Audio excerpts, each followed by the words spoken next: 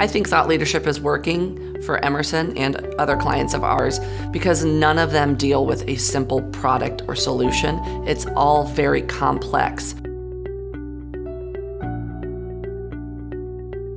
In order to kind of magnify the different tactics that they were doing, the blogs and the webinars, they looked for a, another way to um, extend that conversation in different ways with their customers. So they worked with us to develop this E360 platform. They came to us and asked, how do we change this discussion with our customers? Thought leadership needs to look different than selling or trying to convince somebody of a proposition. The primary thing we've been missing in our industry is someone to understand all the dynamics, some of them regulatory, some of them uh, other kinds of things, to make sense of that in an objective way that really becomes about solving the challenge that we mutually face together. How to approach it doesn't always lead to the exact gadget that we sell, but it is something that we face as a challenge together and we can put best practices and frankly be a consultative resource to the customer. I'm lucky enough to get to attend all of the E360 forums and help them with the logistics, but what I get to do is witness kind of the magic of thought leadership happen there.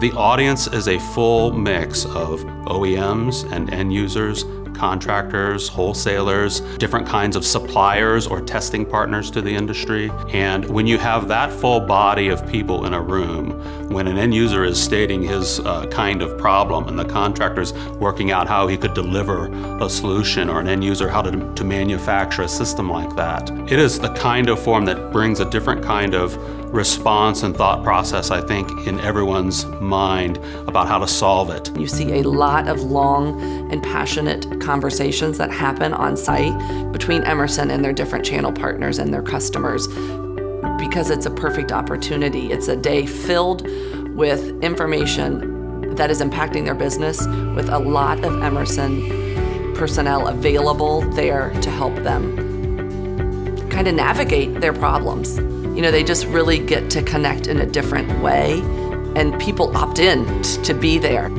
Emerson's content is constantly coming up, and as they do their research, Emerson is becoming the leader in helping them kind of navigate what their solution will be. Not only did we intend to be a thought leader in this process, but frankly, it has happened very naturally that once you start speaking into people's uh, plan at an early stage, they immediately want feedback on a more frequent basis as things change. Whenever there is a new change or dynamic or ruling or regulation that happens in the industry now, people immediately seek our feedback.